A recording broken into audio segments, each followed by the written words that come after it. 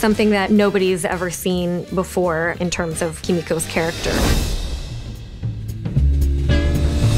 We are doing our first dance rehearsal with everyone here um, for our musical number. you even sang a little bit. musical number. Kimiko finds herself in the hospital with all these injuries. Frenchie is taking care of her. And as a gesture of love, he brings her a laptop full of her favorite musicals. She starts to go into a dream sequence and then an entire musical dance number.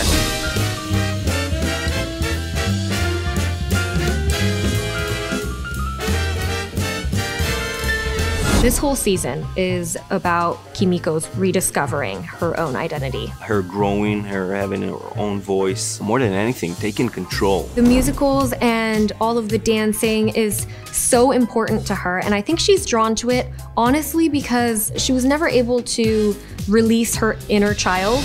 We are combining the styles from old Hollywood movies, Judy Garland, Mickey Rooney, Gene Kelly, Fred Astaire, and we're throwing it all in this wild setting, dancing with IV bags, dancing with clipboards and knee knockers and defibrillators. Anything you can find in a hospital, we tried to dance with it.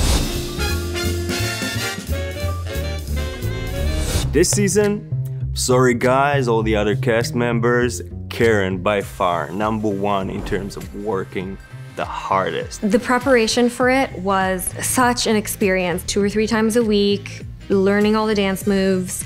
That was something I had never done before. And as an actor, that's one of my favorite things learning something new, learning a new skill. I mean, this girl, this season, just watching her was blow mind. I mean, she can do anything. It was hard. I would have to say it, I think it might be harder than stunts just because my body's not used to it. It's crazy how, how, how hard the work was outside of the set. I'm not a dancer. I never thought I was a dancer. I gotta say, man, I learned I can move. Karen and Tomer have worked incredibly hard. Neither came from a dance background, but they're excellent movers and super skilled. Obviously, Karen does a lot of fight work, and so does Tomer. So they, they both have a natural dance ability.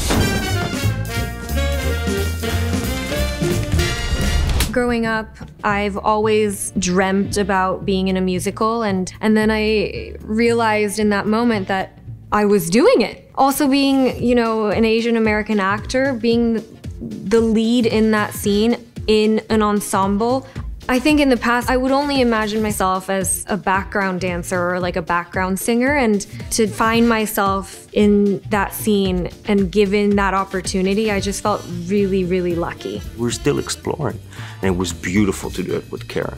I'm so thankful for her. It, it's a pinch me moment.